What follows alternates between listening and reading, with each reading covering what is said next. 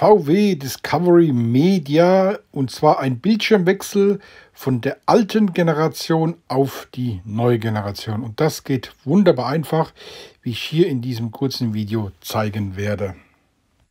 Um den Bildschirm zu wechseln, muss man zuerst die Abdeckung hier entfernen.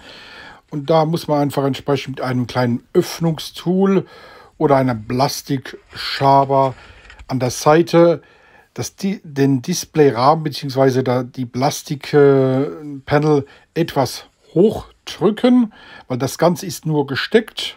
Dabei muss man natürlich etwas vorsichtig sein, aber eigentlich nur etwas raushebeln und das natürlich nur Schritt für Schritt und nicht extrem ruckartig. Und dann kann man eigentlich das Ganze einfach nach kurzer Zeit schon abziehen an allen Ecken und äh, Kanten sozusagen einfach mal ein bisschen ähm, hochdrücken dann und dann poppt das Ganze raus und schon ist das Ganze, die ganze Abdeckung hier draußen und man kann es einfach ablegen. Das wäre jetzt schon der erste Schritt und jetzt kann man eigentlich nur noch das Display einfach, einfach ausbauen und das war's. Und genauso wird übrigens auch die neue Abdeckung eingebaut. Das Ganze entsprechend natürlich jetzt äh, gegenseitig. Und hier auch nochmal die Nasen. Wie gesagt, das Ganze ist nur gesteckt. Das kann man einfach in dem Sinne rausziehen. Und das Ganze war es schon einfach. Jetzt muss man auch noch diesen Bildschirm ausbauen. Und äh, dann war eigentlich schon die Arbeit zu 80 Prozent vorbei.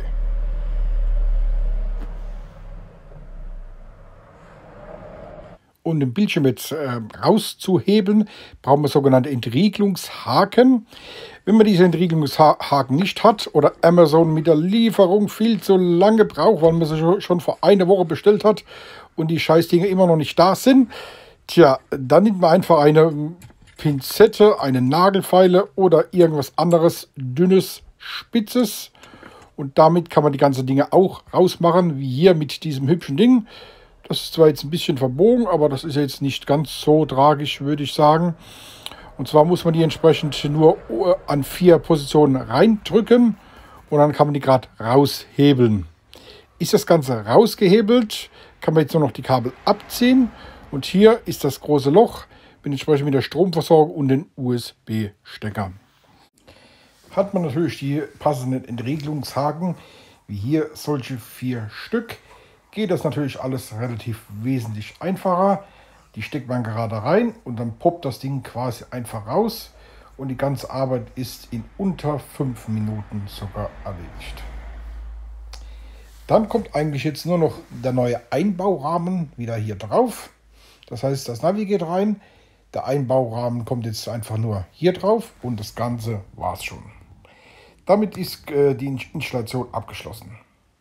Wie man jetzt sehen kann, sieht der neue Bildschirm wesentlich besser und hübsch aus, auch wenn die Auflösung eigentlich gleich geblieben ist. Aber der neue Bildschirm wirkt irgendwie wesentlich frischer und aktiver. Und er hat natürlich auch 8 Zoll im Gegensatz zum alten Display, das nur 6,5 Zoll hat. Neue Funktionen kann man natürlich damit nicht freischalten. Es ist nur ein reiner, reiner Displaytausch. Das heißt, äh, alle Funktionen, was vorher nicht drin waren, sind jetzt auch nicht drin, logischerweise. Ja. Und ganz zum Schluss jetzt auch nur noch der Oberrahmen wieder drauf gesteckt. Wie hier sehen kann, ist jetzt der neue Rahmen drin. Ja, und damit wären wir jetzt eigentlich auch schon fertig. Es gibt auch keine Fehlercodes, also es ist quasi Plug and Play. Einen internen Fehlercode gibt es zwar, weil man jetzt das, äh, den Bildschirm getauscht hat. Den kann man auch wegprogrammieren lassen, wenn man das will.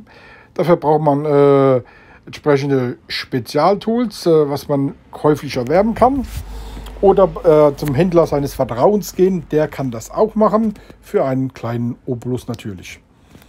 Hier mit so einem Spezialtool kann man das entfernen. Aber wie gesagt, das braucht man nicht, da dieser Fehlercode nicht ersichtbar ist. Gut, das war jetzt ein kleines Video von mir. Vielen Dank fürs Zusehen und auf Wiedersehen.